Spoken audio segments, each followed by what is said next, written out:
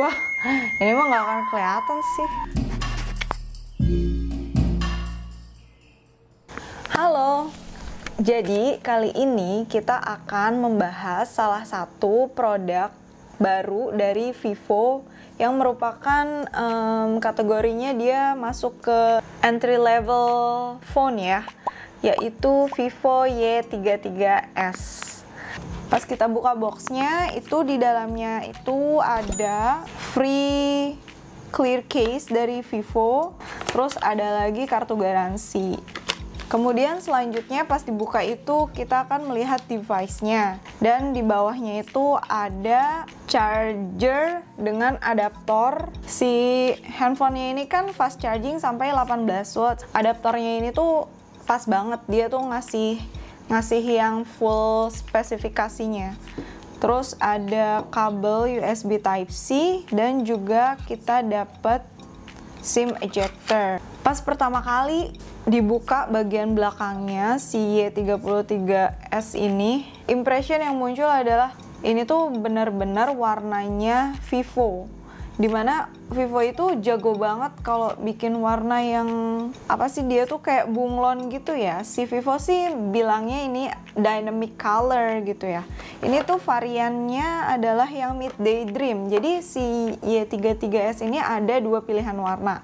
Cewek ya pasti nyarinya warna-warna cantik seperti ini ya. Ini tuh warnanya tuh mirip banget sama V21 ya yang sebelumnya juga udah pernah saya review karena uh, handphonenya tuh cantik banget kan. Terus kemudian warna-warna bunglonnya gini tuh mirip juga sama si Mi 11 Lite yang juga sebelumnya udah pernah kita review. Cuma emang kalau misalnya kita pegang ini bagian belakangnya ini teksturnya agak sedikit berbeda ya. Kalau si V21 itu mulus gitu. Kalau ini tuh kayak ada sedikit bertekstur keras ngerasa kalau si material di Y33S ini um, kayaknya agak lebih di bawah daripada si V21 tapi kalau misalnya kita lihat begini aja ini tuh sama cantiknya sama si V21 lihat deh warnanya ini kan bunglon gini ya yang sama si Vivo nya ini disebutnya sebagai warna yang dynamic dynamic color gitu.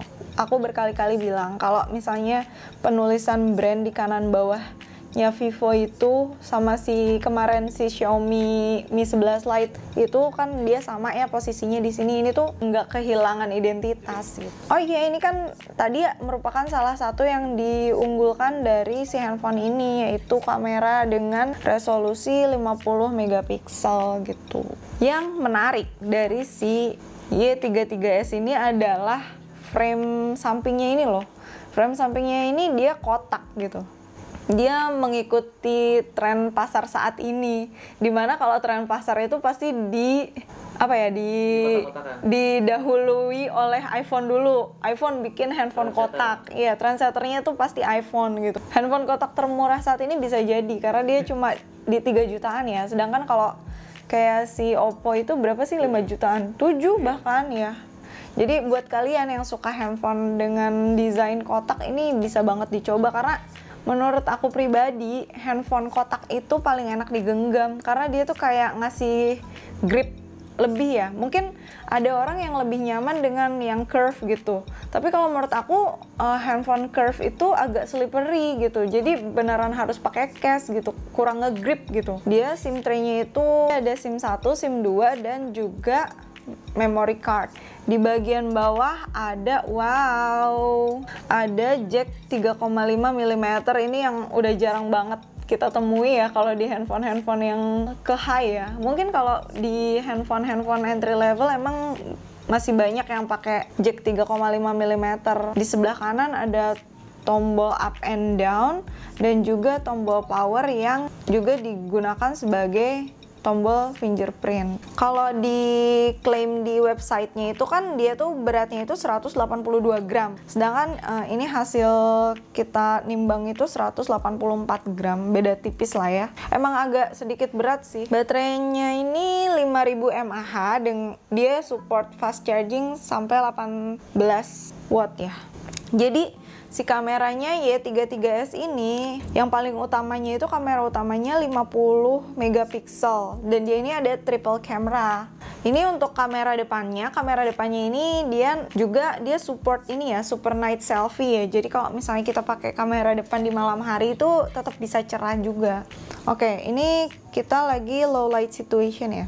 Tapi pas kita lihat hasilnya itu uh, antara low light situation sama yang tadi dipakein light itu true malah apa ya lebih putih banget pas di low light situation. Mungkin karena dia gelap banget gitu. Jadi tuh kayak si kamera handphone itu usaha semaksimal mungkin memberikan cahaya gitu. Tapi yang ada malah warnanya itu jadi putih banget gitu. Sekarang kita mau cobain kamera belakangnya. Wah, ini mah nggak akan kelihatan sih. Jadi tadi kita udah coba kamera belakangnya yang sangat ekstrim. Nah, pas lampunya dimatikan, itu uh, pakai kamera biasa dan kamera night mode itu tetap aja ya over brightness dan bikin hasil gambarnya itu kurang detail. Nah, sedangkan di low light situation itu antara si night mode sama kamera biasanya itu juga sama-sama struggling. Jadi emang harus pakai flash. Kalau pas pakai flash itu warna aslinya keluar dan mata aku sipit jadinya gara-gara kena flash. Diulang dong flashnya. Nah ini sekarang kita mencoba merekam video pakai kamera depan dengan resolusi 1080p. Sejauh ini sih warnanya ya cerah-cerah aja ya. Sekarang lampunya dimatikan, lampu yang di depan. Tapi lampu di belakang masih menyala, jadi masih masih lumayan kelihatan sih.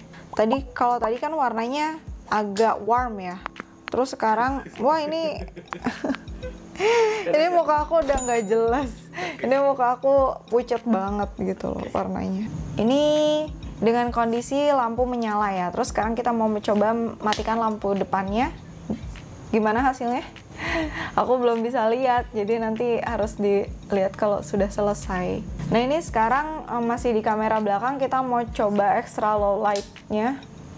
Gimana? Kalau tadi di kamera depan itu kiri kanan aku tuh kayak tetap ada cahaya karena cahaya belakang kayak kehilangan warna naturalnya. Oh, ini flashnya nyala ya? Ini flashnya nyala dan aku tuh paling benci sama flash. Aduh, mataku ya. Oke, kamera hasil kamera belakangnya itu ya bagus gitu. Terus pas kita coba matiin satu lampu, hasil videonya malah lebih bagus daripada yang lightingnya menyala semua gitu.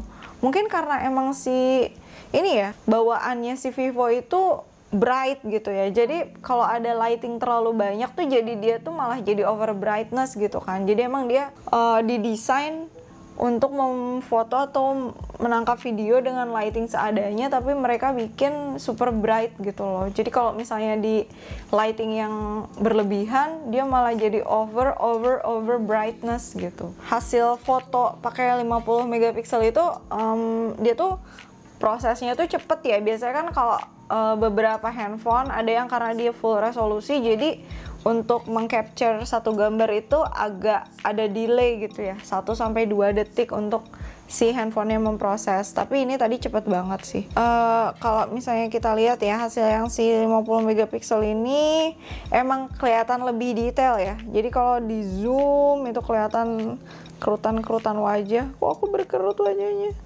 Nah, untuk mengunlock si handphone ini, dia tuh punya fingerprint mode dan juga face recognition.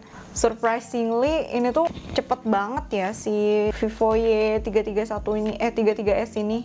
Ini bahkan coba. tadi kita coba compare jadi si Y33s ini di compare sama si Samsung M52 yang harganya tuh beda 2 juta ya. Tapi face unlocknya tuh lebih cepet si ini si Vivo. Tuk. Wih. Satu, dua, tiga. Duluan ini daripada ini. Nah kalau misalnya kita cuma ngomongin cerah gitu ya, ini emang si layar IPS di Y33s ini udah cukup sih. Tapi kalau misalnya ngomongin vibrant color, detail gitu, emang agak sedikit ini sih. Eh tapi ini bagus banget sih ini. Cuma emang kelihatan, kelihatan ini sih, kelihatan kayak agak kurang sedikit gitu loh. Ini result Antutu-nya Vivo Y33s itu 239.656.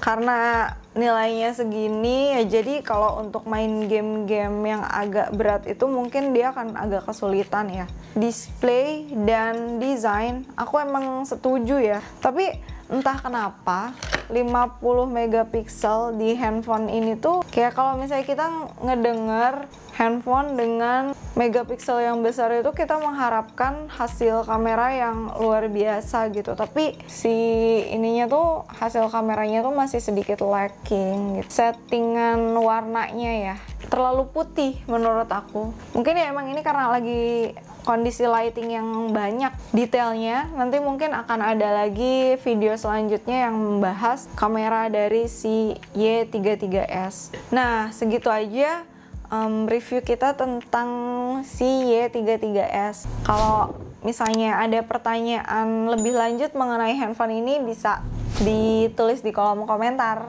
Terima kasih